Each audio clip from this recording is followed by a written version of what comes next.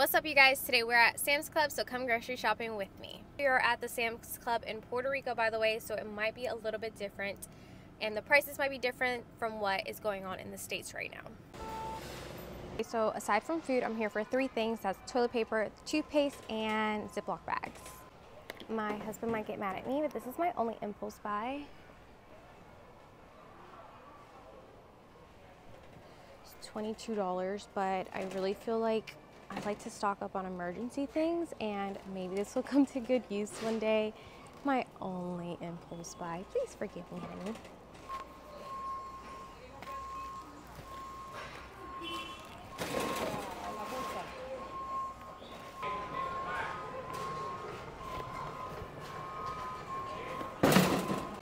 I also got the Members Mark tissue down there. It was $24 and it's for 48 instead of just 24.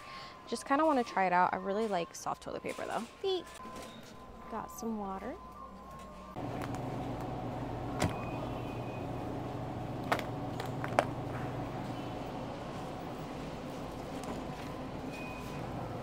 Okay.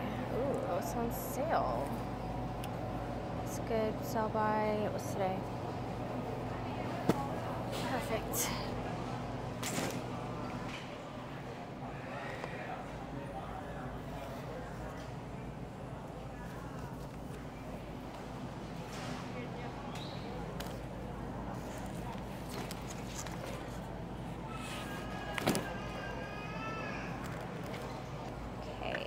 This is a must-have for my dog and I'm running kind of low.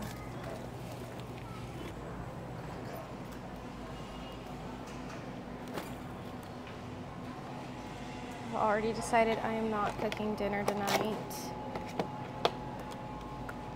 What do I want? So I went with these. $14.80. I will make some additional sides at home if it's not enough.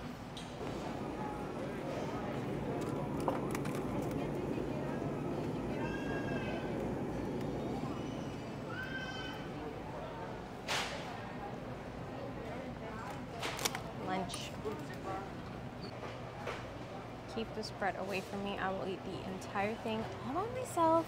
But I think that's it for my shopping. I just gotta buy some toothpaste and we're out of here. Not sure why, but there were no chicken wings, which my dog loves, but I still have some at home from my last haul. I must have missed it somewhere, but this is the only toothpaste I found. Definitely need these gloves for my dog's food found these instead. These are $8.99. I don't know the price of the other one, so I just went with this one. Okay, I had one final impulse buy, which is because I'm trying to slowly but surely get everything I need um, just for in case of an emergency.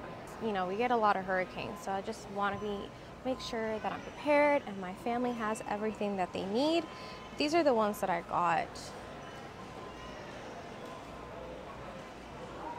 All right, you guys, we are officially back in the car and $301.95 later, we got our haul. Um, majority of this isn't something I would get every time. Of course, like I got a little bit of an emergency kit and I just like to get those a little bit at a time so that whenever something does come up or we have some sort of warning for a hurricane or whatever it may be, I'm not out going crazy looking for the things um, just like everyone else is.